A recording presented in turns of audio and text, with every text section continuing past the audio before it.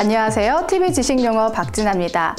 2015년이 끝나갈 때도 그리고 2016년 새해가 밝아오면서도 여전히 정치권에서 시끄러웠던 이슈가 있습니다. 바로 선거구 획정인데요. 2016년 4월 13일 제20대 총선이 치러지기 때문에 선거구 획정은 굉장히 중요합니다. 국회의원 선거구 획정 자세히 알아볼까요? 우선 선거구란 대표를 선출하는 기본 단위를 말합니다. 우리나라 국회의원 선거는 지역구와 전국구를 대상으로 하는데요. 지역구에서는 소선거구제 다수대표제로 국회의원을 선출하고 전국을 상대로 국회의원을 선출하는 전국구에는 비례대표제를 실시하고 있습니다. 이어 선거구 획정은 선거 결과에 큰 영향을 미치기 때문에 선거 전 중요한 일로 꼽힙니다.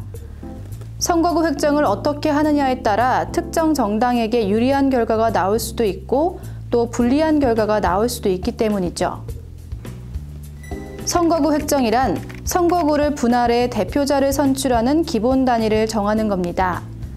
즉, 시, 도의 관할 구역 안에서 인구, 행정구역, 교통 등의 조건을 구려해 구, 시, 군을 단위로 획정하는 거죠. 그러나 우리나라는 국회의원 정수 및 지역구와 비례구 의석 간의 비율이 고정되어 있지 않고 법률로 정하도록 되어 있기 때문에 선거를 앞두고 국회의원 수 등에 늘 변동이 있었습니다.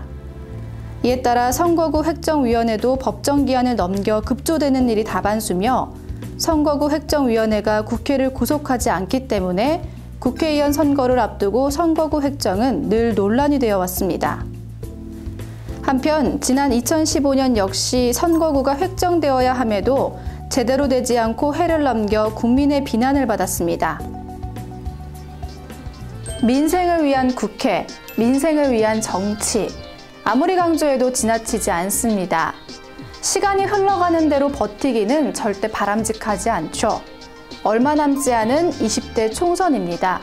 국민 스스로 투표하는 일이 가치 있게 느끼길 바란다면 국회에서 솔선수범을 보이는 것은 당연합니다.